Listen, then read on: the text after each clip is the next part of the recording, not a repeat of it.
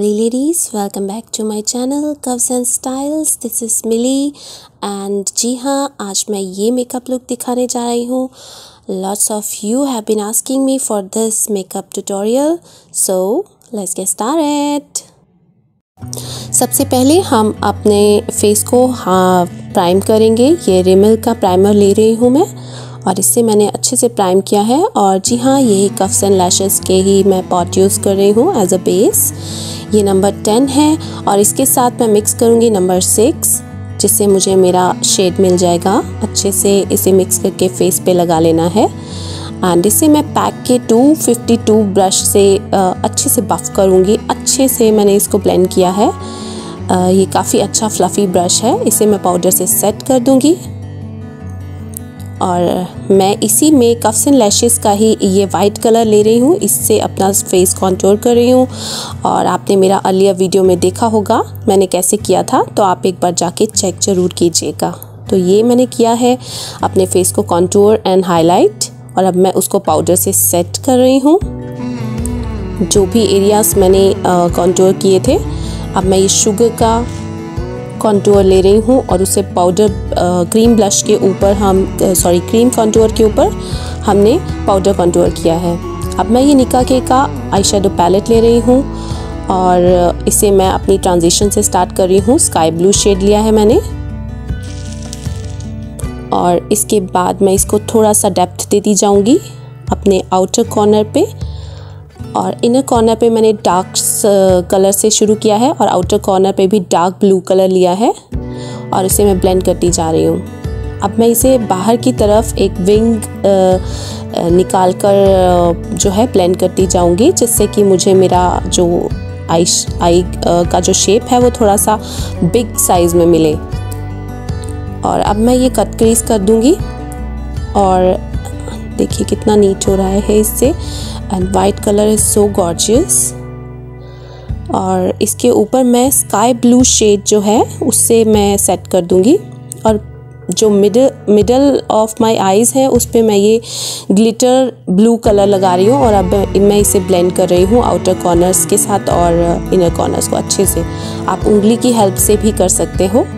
क्योंकि जो ग्लिटर्स हैं, वो थोड़े से अच्छे से पॉपअप होते हैं, अगर आप उसे फिंगर से लगाते हो। और अब मैं ये पिंक कफ्स एंड लैशेस का ये पिंक कलर आता है। ये मैं लेके इससे विंग ड्रॉ करूँगी।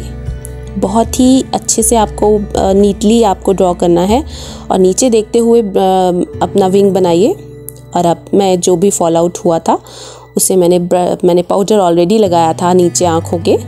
तो अब मैं ये अपने आँखों के अंदर वाली साइड पे ऊपर की तरफ़ थोड़ा सा काजल लगाया है और नीचे की आईज़ में मैं ये फेसिस कनाडा की आई पेंसिल ले रही हूँ और मैं इसे ब्लू एक रॉयल ब्लू शेड है ये। इससे मैं अपनी वाटर लाइन फिल कर रही हूँ अच्छे से। ये आ, आपको लेंसेज के साथ भी इरिटेट नहीं करेगा। ये बहुत अच्छा मुझे लगा। और अब मैं इसे स्मच आउट कर रही हूँ उसी सेम ब्लू कलर से sky blue and dark blue और अब मैं ये मस्कारा लगा रही हूँ आँखों पे और लैशेस को कोट दे रही हूँ लोअर लैशेस पे भी. और अब मैं ये लैशेस लगा रही हूँ, ये कैललेस की लैशेस हैं वन ऑफ़ माय फेवरेट्स इसे अच्छे से लगाने के बाद अब मैं ये आईब्रोज को फिल कर रही हूँ। अच्छे से आईब्रोज को फिल करने के बाद टारा सो so, मेरी सेकेंड आइज़ भी रेडी हो गई है। और अब मैं ये ब्लश ले रही हूँ मिस क्लेयर का नंबर थ्री इसे मैं अपनी एप्पल ऑफ़ द चीक्स पे लगा लूँगी अच्छे से। और थोड़ा थोड़ा सा ही लगाना है क्योंकि ये बहुत ज़्यादा पिगमेंटेड है। और अब मैं ये स्विस ब्यूटी का लिक्विड हाइलाइटर ले रही हूँ। और इसे मैं अपने जो हायर पॉइंट्स है, उसके ऊपर लगा रही हूँ।